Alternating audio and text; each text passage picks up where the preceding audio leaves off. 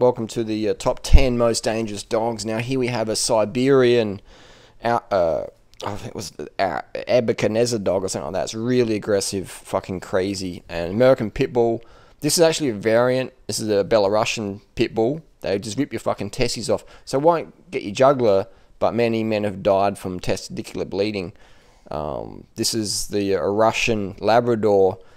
Very intimidating dog. Something you don't want to fuck with. These definitely look. At it looks the business, man. It looks the fucking business.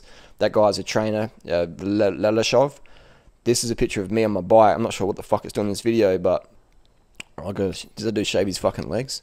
Looks like he does. Fluoro socks, fluoro helmet. I think this guy needs to get bitten by a dog or something. Go vegan. Go vegan. fuck does vegan mean?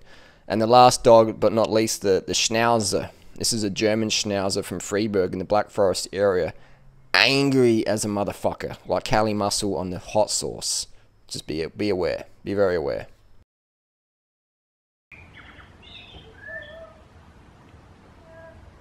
Go vegan.